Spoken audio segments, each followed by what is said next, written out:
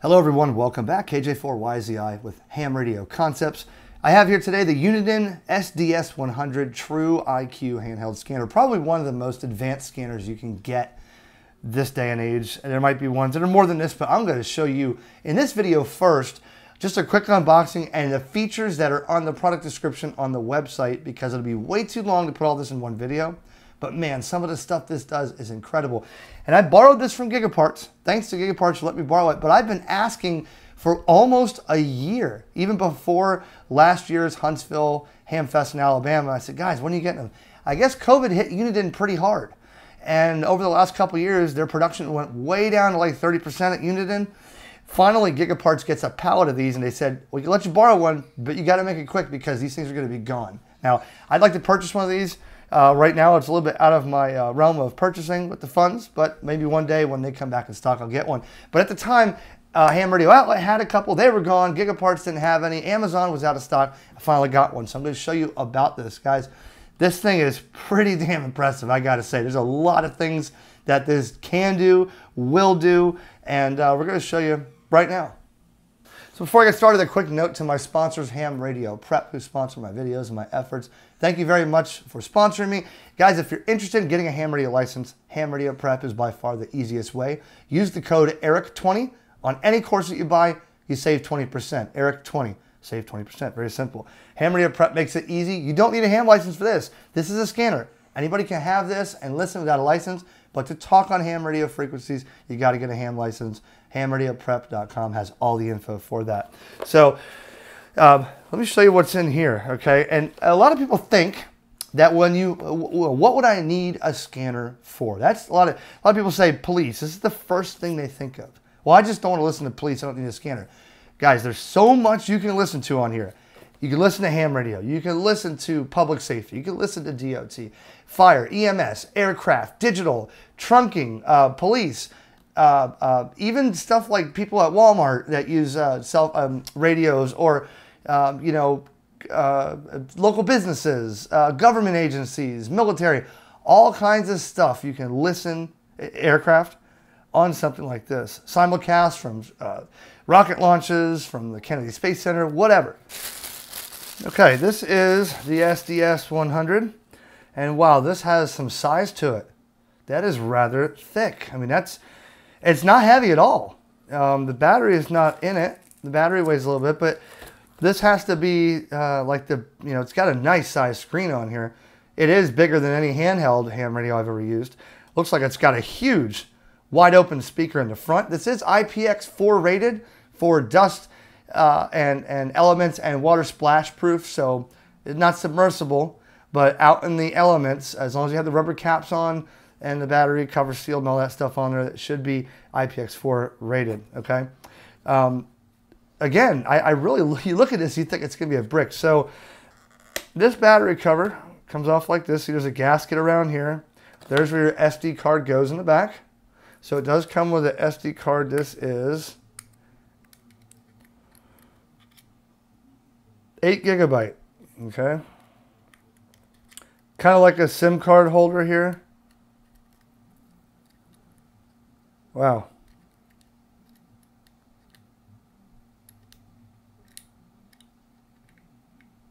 There you go. There you go. Okay, there's your SIM card holder. So the there's your memory card holder. So the battery, the battery is a 3.7 volt, 5400 milliamp battery. Its own prior, you know, its own design here. That goes like this. Okay. That's an interesting battery concept. The way they do that. Drop the box in, put this cover on. Probably for the, there you go. Okay, still not heavy at all. Um, I'd have to say it's maybe a tiny, I, I, this probably weighs less than the UV5R with the uh, upgraded battery on there. I mean, this is, um, this is a Bridgecom GMRS radio and it's heavier than this Uniden. Okay, that's that's pretty interesting. Not heavy at all. Um, SMA female antenna connector on the top. It does come with an antenna. Oh, look at that antenna. Nice and bulky. Uniden antenna. It's got, a, it's got a gasket on there. Uh, um, a uh, O-ring on there as well. Okay, pretty cool. It's got your lanyard here, which will go around this little thing in the corner. What else we got? The belt clip. Cool thing about the belt clip, you don't have to screw it on. So just go like this. Wait a minute. There. All right, there's your belt clip. Here is your USB cable and the uh, wall wart adapter. So I guess the USB cable for charging this thing. Yeah. So that USB cable, there's two USB ports on the front, on the side. That USB on the bottom is a, um, I forget what they call those, USB B, not a micro USB. That's for the charge here, charges of USB. So it can be charged out in the field, a battery bank or a solar panel or whatever. Then you have the micro USB up here, probably for programming as well. So we're not gonna get into programming this right this second, okay, or showing you what to do with it. But I'm gonna show you all the different things that this does on the website. I'm gonna have to read from the computer because there's just so much stuff here that you can do. This does have a headphone jack up top, so you can use this for earpiece if you want to keep this on and you're at a race or something, or you're at an air, uh, air show or, or an airplane event, or uh, you want to be covert ops, you know, you can plug it at the top there. It doesn't come with one, you can plug it in. And also, you can use an external GPS with this, which is not included. Use a GPS for location-based frequency finding uh, if you're in the area, kind of like my 885 Bear Tracker CB slash hybrid scanner in the truck. It's got a GPS that came with it, and I can actually drive through town. And as an update for that, that scanner is like flawless as far as I'm concerned. No matter what county I go through, it'll automatically pull up and I can listen to police, fire, EMS, and DOT uh, and more. Sometimes things come in on the DOT with the scanner that's built in based on GPS. I never have to program that thing or find out what location I'm in and what frequencies are. This will operate the same way based on zip code, or if you buy the external uh, GPS and plug it in, you can do that. Okay, the SDS 100 is also the first scanner that allows you to decide what to display, where, and in what color. Custom fields put the information important to you right where you need it. So, as far as main overviews, the Home Patrol database includes all known radio systems in the US and Canada. The database is updatable with the Sentinel software, and Uniden updates the main database weekly. As I said, water resistant IPX4 that's resistant to dust and water damage caused by splashing water from any direction, given that all the jack covers are in place. Customizable color display True IQ receiver, and that's cool. An IQ receiver captures the complete signal waveform in three dimensions, allowing for improved digital error correction and signal recovery.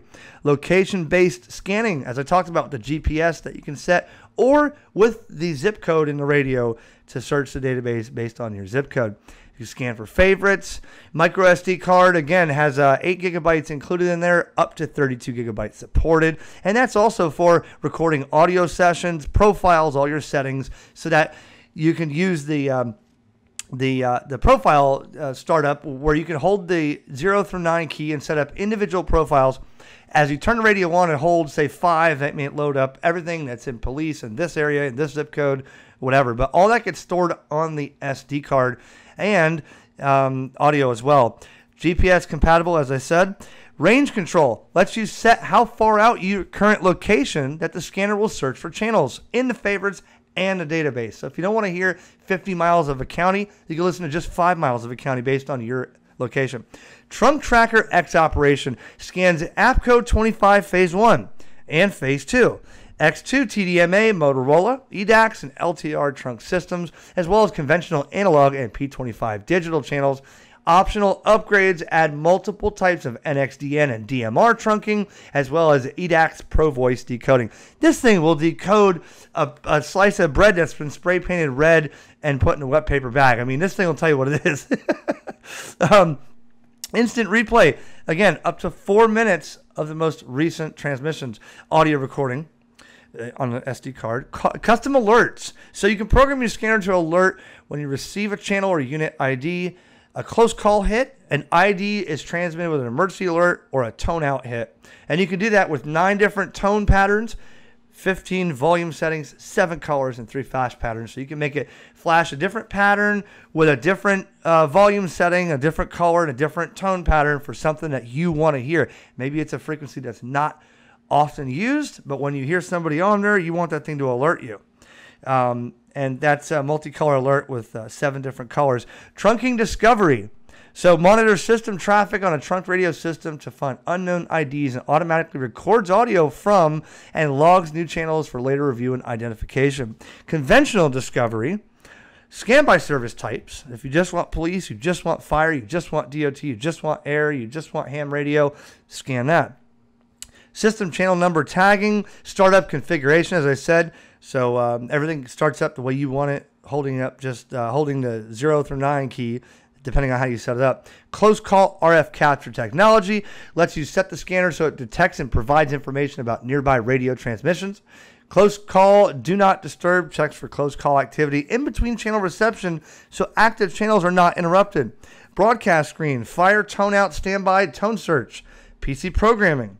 Priority and priority with DND scan, priority ID scan, intermediate frequency exchange, individual channel volume offset, configurable band defaults for AM, FM, narrow FM, wide FM, or I don't know what FMB is for 31 different bands. Repeater find, so it allows the scanner to try to switch to the repeater frequency input. So if you have somebody transmitting to a repeater, you want to hear the person transmitting on the input side, it can try to find that automatically.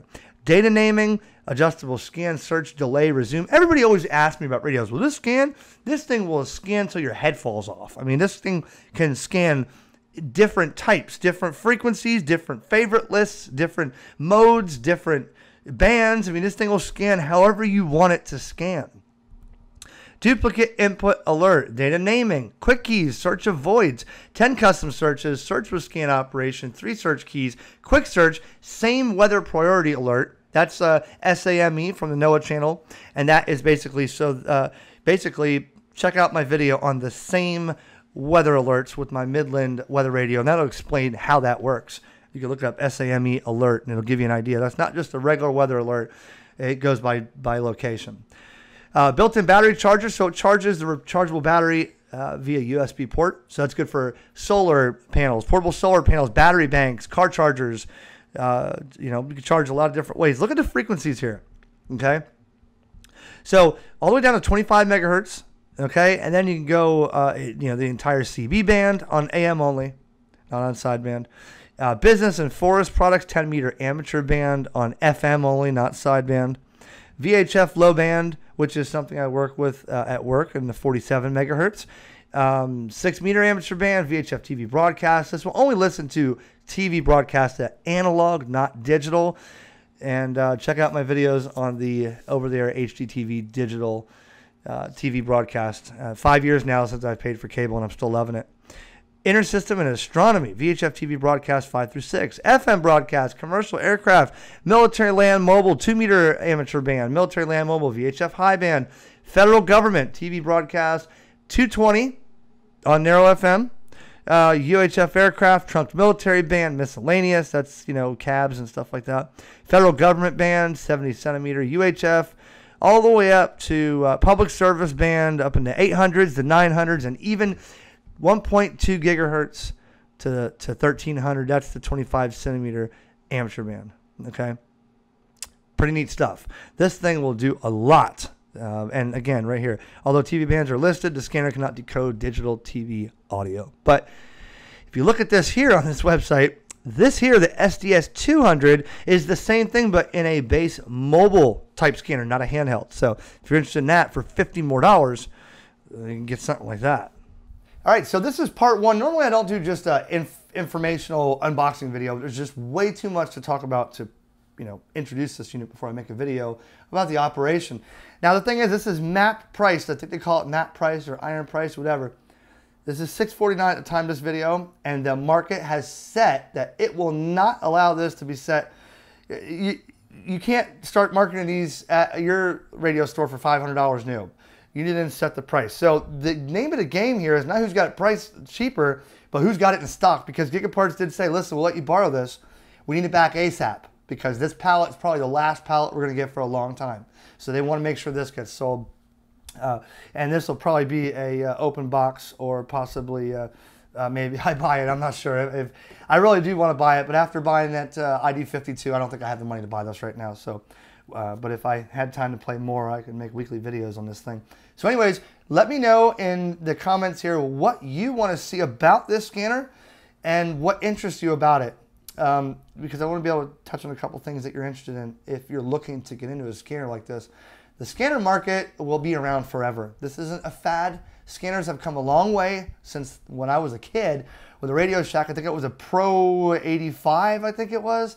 And that did, you know, 29 to 512 megahertz, analog only, one channel only. There was no cool, you know, IQ technology or lithium ion. I used double A's, you know, it didn't have GPS or programming.